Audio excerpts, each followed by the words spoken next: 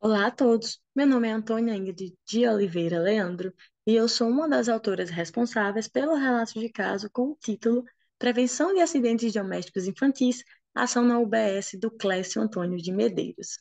Inicialmente, eu gostaria de destacar que os acidentes domésticos eles são eventos que ocorrem independente da vontade humana no ambiente domiciliar e que possuem a capacidade de gerar lesões ou óbitos, embora eles também tenham a possibilidade de serem previstos e evitados. As crianças na primeira infância são aquelas que detêm a maior vulnerabilidade ao seu acontecimento, justamente por essa ser uma etapa de grande desenvolvimento físico, cognitivo e social. Os principais tipos de acidentes encontrados na faixa etária pediátrica são as quedas, as queimaduras, os cortes, a asfixia, o afogamento e as contusões.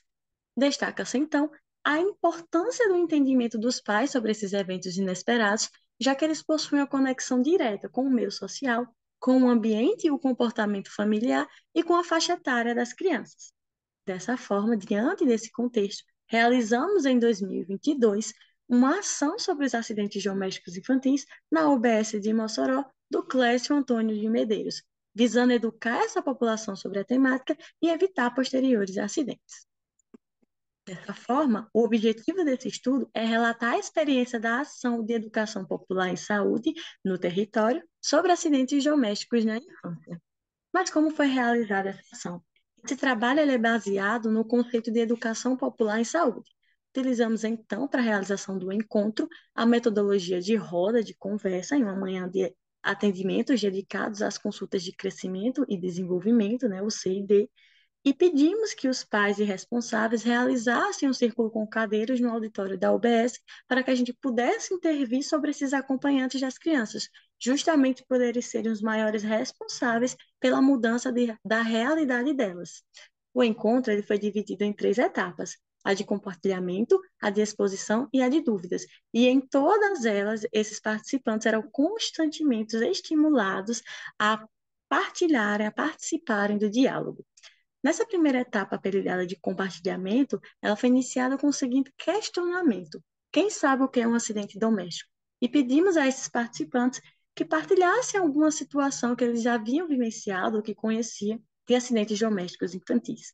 Posteriormente, foram entregues a eles, na etapa de exposição, panfletos informativos sobre os principais acidentes domésticos infantis de acordo com as faixas etárias das crianças.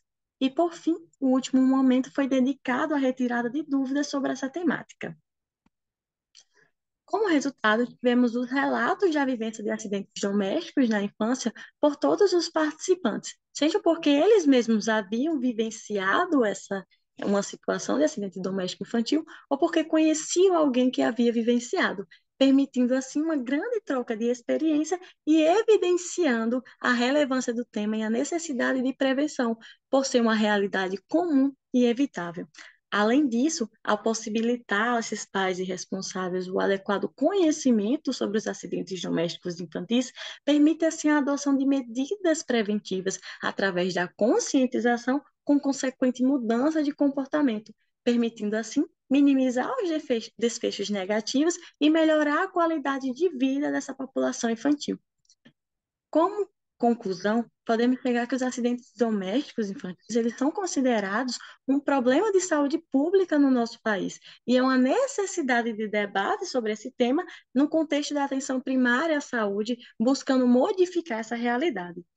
Além disso, essa ação realizada por meio da roda de conversa possibilita melhor o diálogo baseado na experiência pessoal, bem como a presença de um turno na UBS dedicado ao público infantil permite de maneira mais adequada essas ações de prevenção e promoção de saúde voltada a esse público.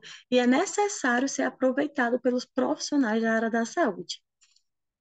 Para finalizar, destaco aqui as referências utilizadas na construção desse relato e agradeço a todos pela atenção.